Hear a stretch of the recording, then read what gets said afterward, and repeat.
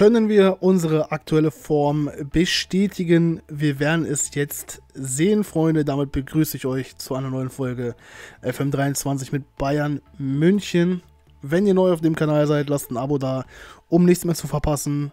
Und unser nächster Gegner heißt VfB Stuttgart in der Liga.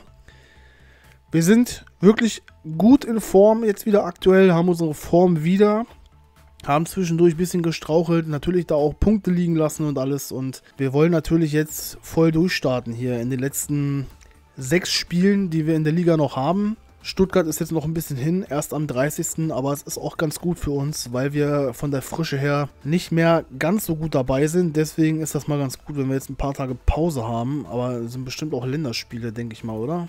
Ich, ich bin mir nicht ganz sicher. Auf jeden Fall ist das ganz gut für uns. Elanga hier im letzten Spiel sehr gut gespielt. Jetzt aktuell ein Gesamtlevel von 79. Gut in Form, hat lange kein Spiel gemacht. Aber ein Spiel kann viel bewirken, ja, ihr seht es hier, ne? Vidovic hat seine Trainingsziele erreicht. Da müssen wir kurz mal reingehen. Ich werde mir nochmal die zweite und die Jugend anschauen, nochmal Spielergespräche führen und dann ähm, hören wir uns gleich wieder vor dem Spiel gegen den VfB Stuttgart. So, Freunde, wir werden noch mal kurz die Nachrichten checken, bevor wir in das Spiel gegen den VfB reingehen, denn da ist ein bisschen was passiert hier. Ein paar Spieler das Jungcamp auch gewechselt. Ja, aber es sind auch wirklich alles Jungspieler, die uns halt nicht zugesagt haben, ja. Torm Rhein ist in Hochform, das wissen wir ja bereits. Okay, Armin wieder bester Mann. Im Spiel gegen Zwickau 6-1 gewonnen. Spielbericht Rhein bestimmt auch getroffen wieder, ne? Ne, diesmal nicht. Motika, Collins, B-Junioren 6-1 gegen Union. Wilhelm erzielt dabei zwei Tore, macht ein großartiges Spiel. Das freut mich. Kabadai hat auch sein Trainingsziel erreicht. 87 können wir eigentlich auch mal rausnehmen, ne? Nehmen wir das Dribbling noch mit rein. So, höchster Formgewinn. Glückwunsch zu deinem ersten Tor in der Liga. Muss man ja auch mal sagen. Grafenberg verlängert seinen Vertrag. Jungcamps ist halt immer noch nichts dabei, ne? Schauen wir nochmal auf die Mannschaft. Cesco war ja für die Nationalmannschaft abgestellt, bekommt jetzt hier mal eine Pause. Wir werden Vidovic mal von Anfang an bringen. Gegen den VfB. Das hat er sich verdient. Ah, Davis lassen wir erstmal noch draußen. Goretzka nehmen wir mal mit für Schlager. So, ansonsten will ich hier nichts verändern. Haben auch eine sehr gute Form hier. Die Offensive. Aber Scott, der ist ja auf 19 hier, ne? Form 19. Dann hauen wir mal rein gegen den VfB. Drei Punkte müssen safe her. 1-0 Koman, 31. Minute. Sehr schön. Wichtiges Tor. So, 65. Minute. Jetzt werden wir nochmal wechseln. Jetzt bringen wir doch nochmal Schesko für Vidovic. Lewandowski sieht auch nicht so gut aus. Aktuell Scott könnten wir nochmal bringen. Äh, packen Musiala einfach mal auf die hängende Spitze. So, und Goretzka bringen wir nochmal. Zack. Und er macht direkt das 2-0. Das ist ja geil. Komano mit der Vorlage. Goretzka zum 2-0, 66. Minute. Da hat sich die Einwechslung doch ausgezahlt. Und es bleibt auch beim 2-0. Jawohl, Freunde. Wir gewinnen auch das Spiel. Ich glaube, das dritte Sieg jetzt, glaube ich, nacheinander. Sehr gute Leistung von uns. Koman wieder Treffer und Vorlage gegeben. Goretzka nach der Einwechslung klasse gespielt, war sogar bester Mann. Hat sein Tor gemacht, wird ihm gut tun. Dortmund aber auch wieder gewonnen. 4-2, ne? Fünf Spiele. Wir müssen dranbleiben. Wir müssen wirklich dranbleiben. Ich hoffe, dass wir gegen City jetzt auch ein gutes Spiel liefern und nach diesem Spiel nicht wieder in ein Tief fallen. Kimmich, Fußballer des Monats, setzt sich gegen seine Mannschaftskollegen Sané und Musiala durch. Mannschaft der Woche Goretzka. Ja, das ist doch mal schön. Das freut mich für ihn. Die Reserve gewinnt auch wieder 3-0. Kotschab, Sieb und Sanyang getroffen. Die üblichen Verdächtigen. Müller bedankt sich freut sich darüber, dass sie ihr Versprechen wahrgemacht haben und er mehrere Ligaspiele komplett durchspielen durfte. Der Spieler gewinnt an Vertrauen in sie. Das ist schön. Ja, hatte jetzt ja auch keinen kein Auslöser, ne? Nur weil er am Tor gespielt hat. Also, das ist schon okay. Ist halt von der Fitness her noch nicht so richtig da. Aber das kann ja nur besser werden. Angebot für Owen Windal. Manchester United bietet 29 Millionen. zu wenig. Viel zu wenig. Leute. Marktwert von 36. Und abgeben wollen wir den ja auch nicht. Ist auf jeden Fall eine richtig gute Alternative zu Davis. Freiburg bietet für Kulibali. Bei ihm, ja, würde ich drüber nachdenken. Wenn ich ehrlich bin. Würde ich drüber nachdenken. Ist jetzt auch kein Spieler, der aus unserer eigenen Jugend ist. 16 Millionen Marktwert. Die bieten aber nur 12. Also verhandeln könnte man da wirklich mal. Vertragsende naht. Ja, ich weiß. Letztes Spiel ist gegen Düsseldorf. Champions League. Ist schwer zu sagen, aber irgendwann müssen wir uns natürlich entscheiden. Ne? Also wir müssen auch den Vertrag, wenn wir bleiben wollen, verlängern oder halt mit einem anderen Verein auch verhandeln. Ne? Das ist, kann man schwer sagen, wenn man da sich entscheidet. Können wir mal kurz hier reingucken, ob da was Neues bei ist, was Interessantes.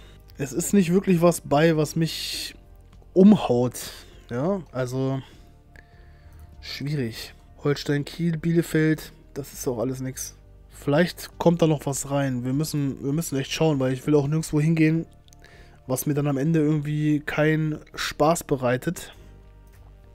Aber es ist ja noch ein bisschen Zeit, ne? Kann auch viel passieren.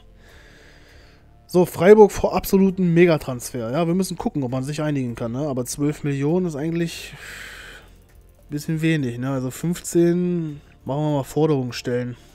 City. Hinspiel gegen Eindhoven verloren. Rückspiel dafür souverän gewonnen. Wir spielen auch erst zu Hause wie Eindhoven äh, im Achtelfinale.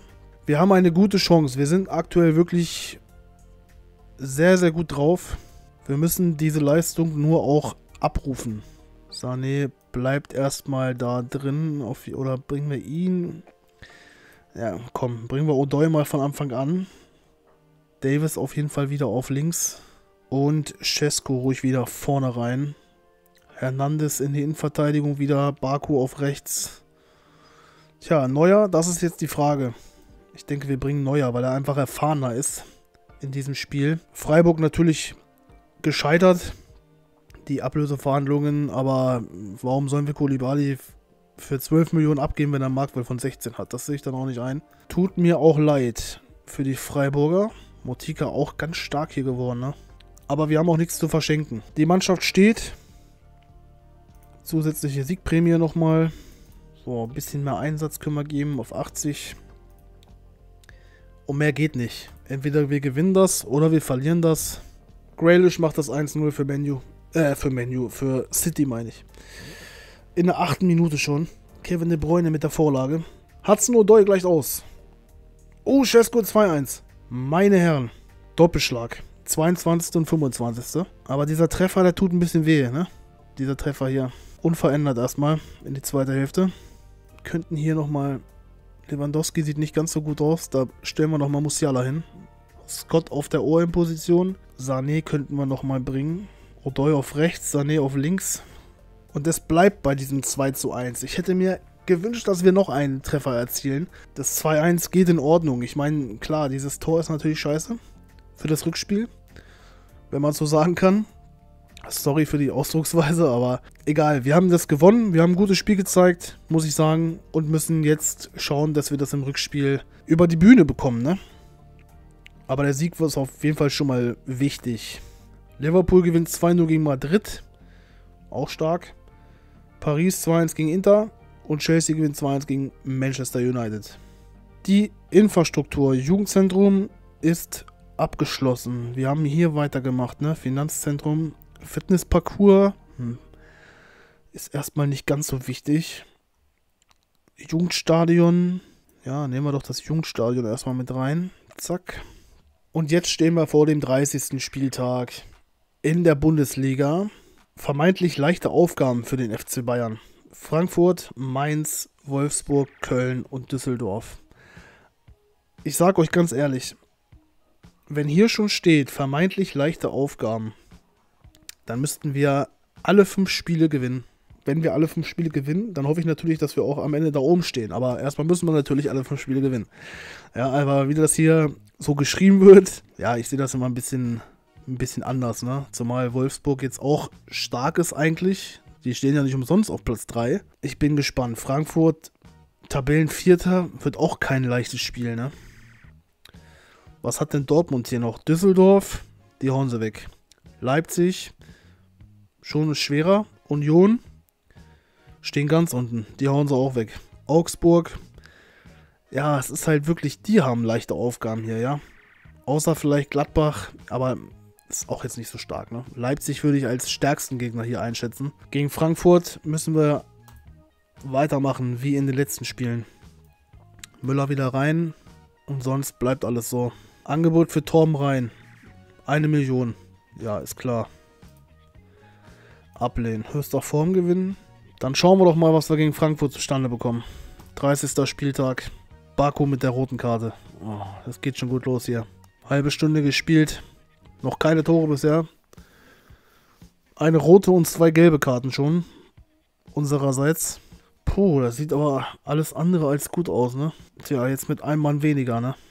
Und jetzt das 1-0 durch Sebastian Rode, ey. Das ist. Das gibt's gar nicht, ey.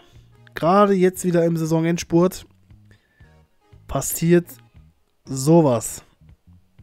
Das ist Mist. Und wir lassen wieder drei Punkte liegen. Oh, mir fehlen auch so ein bisschen die Worte, ehrlich gesagt. Dortmund spielt 2-2.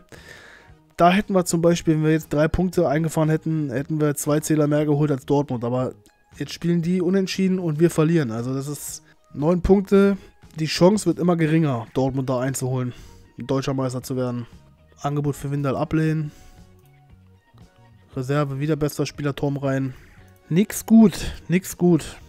Wir haben so eine gute Mannschaft. Ich verstehe das nicht. Dass wir da immer wieder so am Straucheln sind. Bittere Niederlage einfach gegen Frankfurt, ne? Damit 1-0 zu verlieren. Aber wir haben halt natürlich auch mit 10 Mann gespielt. Das darf man auch nicht vergessen, ne? Aber in so einem Spiel dann auch eine rote Karte zu kriegen und dann so mit einem Tor Unterschied zu verlieren, das ist schon nicht so schön. Scott bricht Training ab. Und jetzt das Rückspiel gegen City im Viertelfinale der Champions League. O'Doy bleibt erstmal auf links. Ne, Kimmich ist aktuell wirklich in einer bestechenden Form. Den nehmen wir jetzt auf jeden Fall nicht raus. Den brauchen wir da hinten. Neuer wieder ins Tor. Entweder wir kommen weiter oder halt nicht. Wir werden es sehen. Wir setzen alles auf eine Karte und gehen rein in dieses wichtige Rückspiel gegen Manchester City. 1-0 Musiala. Vierte Minute. Und die nächste Verletzung. Oh, das kann doch nicht wahr sein, ey. In, gegen Frankfurt kriegen wir die rote Karte. Jetzt im Champions League Viertelfinale Rückspiel verletzt sich Lewandowski. Es ist doch einfach nur zum Heulen. Vidovic muss es regeln. Oh, und Baku auch verletzt. Ich glaub's nicht, ey. So, jetzt ist aber gut hier. Bellingham 1-1. 1-1 zur Halbzeitpause. Jetzt bringen wir doch nochmal Sané. Wir können ja auch mal Cesco da bringen. Gucken, ob das was bringt. Wir haben jetzt nicht mehr so viele Optionen, ehrlich gesagt. 2-1. Vidovic. 2-1 Vidovic. Oh, 2-2. Ich glaub's nicht, ey. 3-2 Sané. Wir haben sie niedergerungen. Was für ein Spiel, ey. Geil. Sané, der entscheidende Mann hier, ne? Musiala mit dem 1-0, vierte Minute. Dann der Ausgleich in der 23. durch Bellingham. Davor haben sich Baku und Lewandowski verletzt. Die mussten wir schon mal rausnehmen. Dann ging es in der zweiten Hälfte weiter. Vidovic mit dem 2 1 in der 69.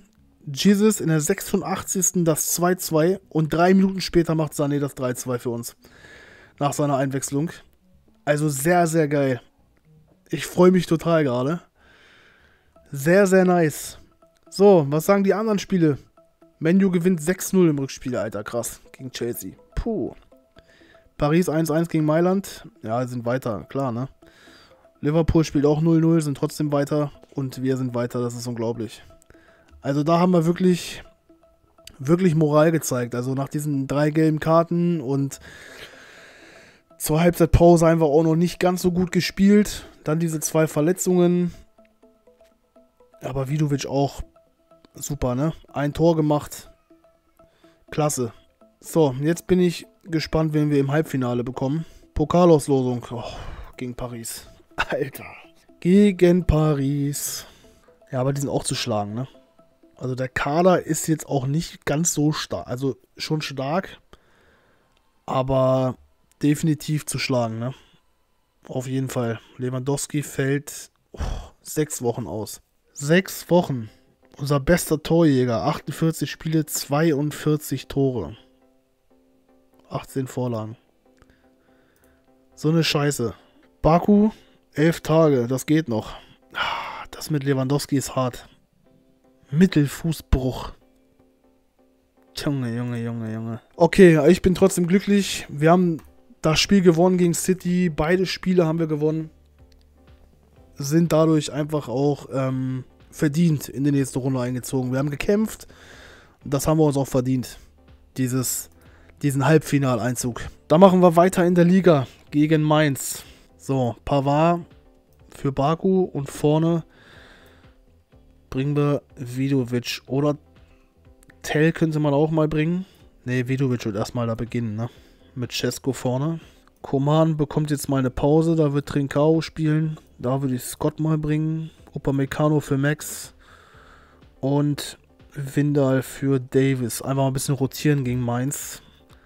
Ich hoffe, dass wir trotzdem dieses Spiel gewinnen. 31. Spieltag. Saison ist fast vorbei. 1-0 Vidovic. 35. Minute. Vorlage Kimmich. Sehr gut. Sehr, sehr gut. So kann das weitergehen. 1-1 Burkhardt. Am besten man sagt gar nichts mehr, ne? So, wir bringen nochmal Musiala hier für Cesco. Und da lassen wir wieder die Punkte liegen, ne? 2-1 Sung und Vidovic macht das 2-2 noch. Schaffen wir das noch? Das gibt's gar nicht, ey. Im Saisonendspurt lassen wir einfach die Punkte liegen. Ich, ich glaube das einfach nicht. Auch gegen Mainz. Wieder nur ein Punkt. Das ist einfach zu wenig. Dortmund verliert. Dortmund hat verloren 2-1. Ey, Leute, die hätten aus den letzten beiden Spielen, haben die nur einen Punkt geholt, ne? Und wir haben einfach jetzt Punkte liegen lassen. Wir haben noch drei Spiele jetzt. Das sind jetzt wären noch neun Punkte. Wir könnten es noch schaffen, rein rechnerisch. So, hier machen wir im Jugendzentrum weiter. Mannschaft der Woche Vidovic wird dafür auch gelobt. Die Reserve hat gegen Saarbrücken verloren. Bester Spieler war trotzdem Armin. Ja, Tabellenerster souverän, ne? Mit 82 Punkten. 110 Tore erzielt, alter Falter. Und auch noch die wenigsten, wenigsten Tore kassiert hier, ne? 23. George, 31 Spiele, 20 Tore. Mega. So, hat sich hier noch was getan? Irgendwelche Vereine dazugekommen? Union Berlin. Auch nicht wirklich eine Option, ne, für uns. Schwer, schwer, wirklich. Nächstes Spiel DFB-Pokal. Hamburg. Machen wir aber in der nächsten Folge, meine Freunde. Schön, dass ihr dabei wart. Es war wirklich eine geile Folge. Gegen City gewonnen. Halbfinaleinzug. Und jetzt noch drei Spiele in der Liga. Gegen Paris müssen wir im Halbfinale ran in der Champions League. Und DFB-Pokal jetzt gegen Hamburg. Es ist noch immer alles drin. Rein rechnerisch auch in der Liga. Aber wir müssen weiterhin unsere Form hoffentlich behalten und weiter Spielstärke zeigen. Ne? Dann hören wir uns in der nächsten Folge. Macht's gut. Einen schönen Tag euch. Ciao, ciao.